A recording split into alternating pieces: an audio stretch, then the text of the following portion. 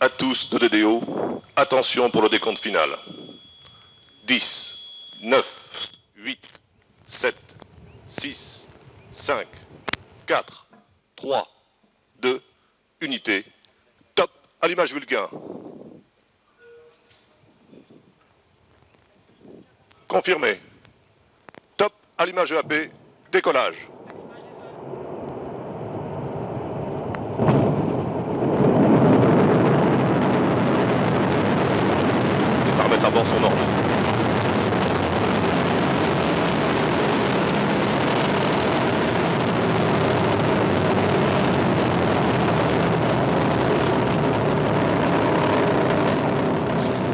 Beautiful there. Ariane off on her way with just a 24-hour delay, leaving a trail of gold as she rises into the sky over uh, French Guiana at 1851 local time and right on time.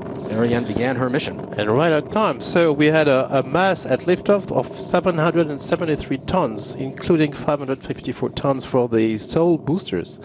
The boosters which give a very strong initial acceleration that will increase velocity from 0 to 7,200 km per hour in about 2.3 minutes.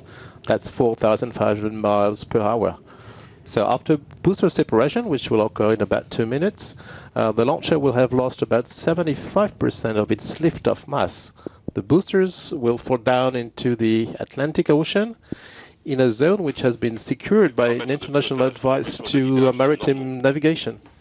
Ariane burning now five tons of fuel per second. That's two and a half tons in each booster per second. The EPC, also the core stage, as it's called, is burning another 300 kilos of fuel per second. All that adds up to roughly the equivalent of a dozen Airbuses.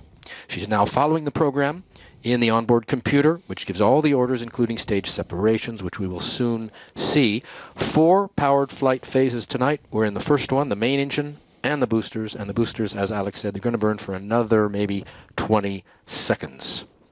Alex, take a look on the left, the upper left screen. Can you give us a description of the curve, please? Yeah, we, we see the uh, simulated flight trajectory, which is computed by using very accurate mathematical models of the launcher and the ATV and by application, of course, of the Keplerian laws for the ballistic phase. Which we're going to hear about a little later. Yeah, a little later. All three of them. So the Mach, which follows... des EAP, ensemble d'accélération à poudre. DDO has just called out the separation of the boosters. You can see what that looks like. There's another one at a camera range on the left, but they fall back down right on time at about uh, 64 kilometers up, I think. They fall away from the shore. People streaming back in uh, from the terraces you can see in the background there. Yes, now to follow the, the actual flight. And now we're expecting the uh, fairing separation. That's the next milestone. Minutes. You can see the cursor crawling up on the upper left. I don't, don't know if you can read it. SEPQUAF, it says separation of the fairing. On the lower left, Alex, can you uh, describe what the, what the bottom lines are? Yes, we have the real-time information from the launcher of the uh, velocity and the altitude, and also the uh, angle of the uh, telemetry antenna with respect to horizontal. So you see the altitude. Uh, the the altitude is 102 kilometers. That's the second line. So we're above the atmosphere, which is where we can separate the fairing, and the uh, DDO will call out that milestone in a moment.